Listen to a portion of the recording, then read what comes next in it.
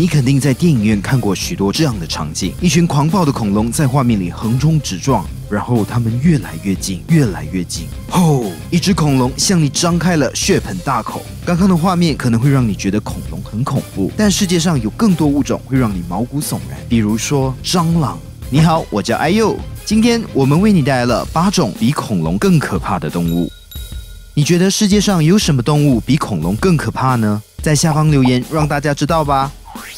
古马路，古马路在大约三点二亿至二点九亿年前繁衍生息，此时正值北美和欧洲煤炭资源丰富的时期。虽然其他水生节肢动物在大小上超过古马路，但在陆地上没有人能与之匹敌。古马路到底有多大呢？科学家们相信它大概长一百八十公分多，约有四十五公分宽。这可是令人毛骨悚然的森林之王啊！由于早期发现古马路化石未能保存口部器官，所以科学家对其实性存在争议。然而，在最近发现的化石上，消化器官部位有花粉颗粒，因此科学家推断它属于草食性动物。虽然它不会试图吃掉你，但它在四处乱窜时，还是会让人觉得毛骨悚然。从它的足迹化石上就能发现，古马鹿可以快速移动和活动，它的数百条腿有节奏的起伏，让人感到恶心和不安。古马鹿是有史以来已知最大的陆生节肢动物，因此它不太可能遇上任何捕食者。毕竟成年古马鹿在陆地上也只有少数天敌。风神翼龙。风神翼龙不仅占据了地面和水面那么简单，想象一个站着就像长颈鹿一样高、展翅时身体约长十米的肉食性动物在空中飞翔，这场面该有多可怕！风神翼龙生活在白垩纪时期，是目前已知最大的飞行动物之一，且和恐龙生活在一起，甚至以较小的恐龙为食。二零一三年《连线》杂志的一篇文章中提到，风神翼龙主要的生活方式像是鹳鸟一样四处走动，并利用一点八米长的喙把植物和小动物从地面抓上来。研究人员认为，它们是空中优雅有力的飞行者。风神翼龙像现代鸟类一样，有着中空的骨头，因此虽然拥有长颈鹿般的身长，它们的体重却只有两百。百四十九公斤。此外，它们巨大的双翼使它们非常适合长途滑翔。从化石上推断，它们身上覆盖着毛发。研究人员认为，这有助于它们在飞行中调节体温。莱茵耶克尔后。莱茵耶克尔后是一种水生节肢动物。这么说，有些人可能不太理解。简单来说，它也被称为巨型海蝎子，这样你就知道它有多可怕了吧？莱茵耶克尔后生活在水中，长度大约二点四米。它的身体是分段的，前面长有一对螯肢，尾巴上带有尖刺，与蝎子很像。莱茵耶克尔后用前面的螯肢和腹肢攻击，用后面的尖来防御。它们的螯肢内侧边缘有锯齿，方便捕食经过的鱼。最大的莱茵耶克尔后甚至有四十五公分长的螯肢。坦白的说，所有的板足后都长得很可怕，它们与异形电影里的暴脸虫长得极为相似，看多了都容易做噩梦。滑齿龙。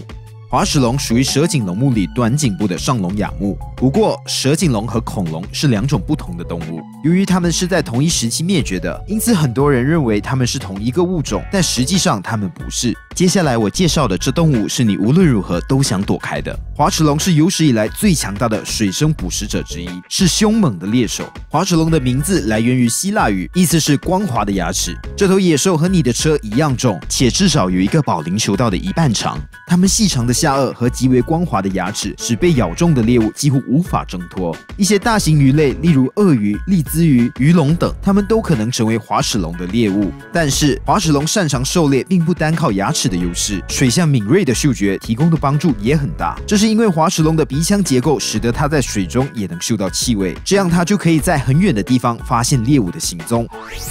第二，你有误入过沼泽地吗？深陷泥潭时，会不会担心附近突然有鳄鱼出现呢？当我在泥泞的地方时，脑海中就会浮现出这样的念头：我确信我不想碰到这些动物。在史前时代，就有一种动物与它非常相似，但比我们今天所知的鳄鱼更具威胁性。第二是一种十二米长、十吨重的鳄鱼状爬行动物，存在于一点三五至一点一二亿年前白垩纪的非洲，是曾经存活过的最大型鳄类动物之一。要是这种在陆地和水之间自由移动的捕食者想要吃掉你，那你就只能自求多福了。它的头骨有一点八米长，有一百三十二颗粗厚的牙齿。且牙齿呈圆锥形，适合用来抓取、夹住猎物。有专家推测，它们的主要猎物可能是大型动物与较小的恐龙，但更多专家认为第二只是种大型鱼食性动物，以白垩纪时期的大型鱼类与乌龟为食。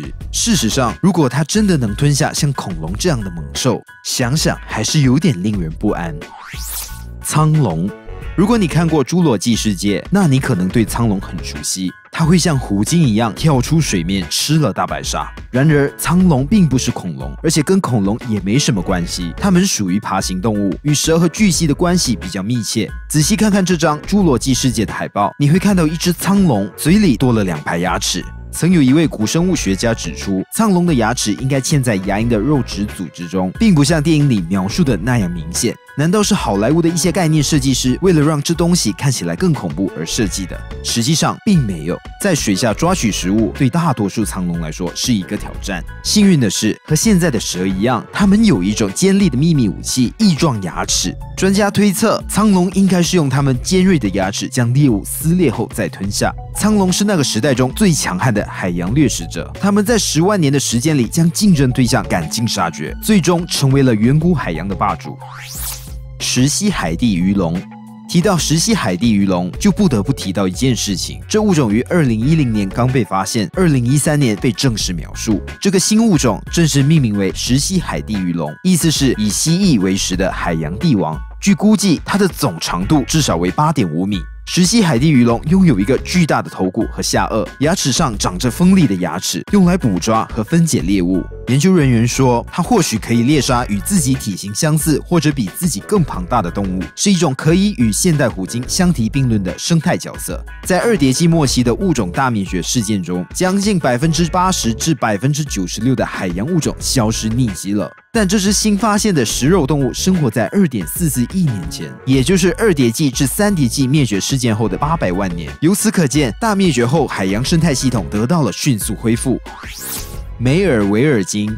梅尔维尔鲸全名为梅尔维尔利维坦鲸，这只已绝种的鲸鱼名字寓意真的很深刻。其属名取自圣经中的利维坦，而它的种名则是以小说《白鲸记》的作家赫尔曼·梅尔维尔命名的。看着梅尔维尔鲸的照片，你可能就知道为什么它很像现在的抹香鲸了。主要是古生物学家认为它看起来很像。然而，由于他们只发现了头部，他们不能确定整个身体是否与抹香鲸相似。也是，毕竟古生物不像。现代动物那么好研究，唯一被发现的头颅化石约三米长，里面有四十颗三十六点八公分长的牙齿，这是从现存或已灭绝的动物中发现的最长的牙齿。这种鲸鱼体型非常之巨大，约十三至十七米长。据推断，梅尔维尔鲸估计与巨牙鲨同属顶级掠食者，它们以水面上的大型猎物为食，包括其他鲸鱼。要是它们还没绝种，估计是目前所有海洋生物的最大天敌了。你觉得世界上有什么动物比恐龙更可怕呢？在下方留言让大家知道吧。希望你会喜欢这一集的影片，别忘了在影片下方按个喜欢，也可以订阅这个频道和接收通知哦。如果你喜欢这一集的影片，也请分享出去吧。感谢你的收看，这里还有一些影片，我们认为你会喜欢，我们一起到下一个影片脑洞大开吧，拜拜。